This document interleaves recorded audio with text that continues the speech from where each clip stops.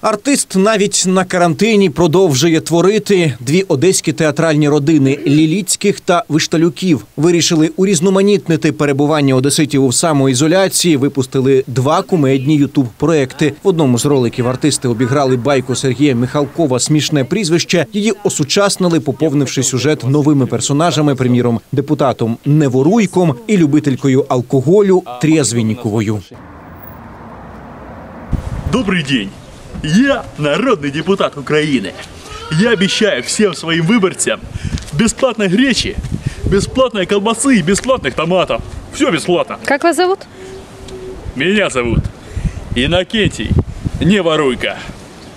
Не воруйка. Не воруйка. Голосуй.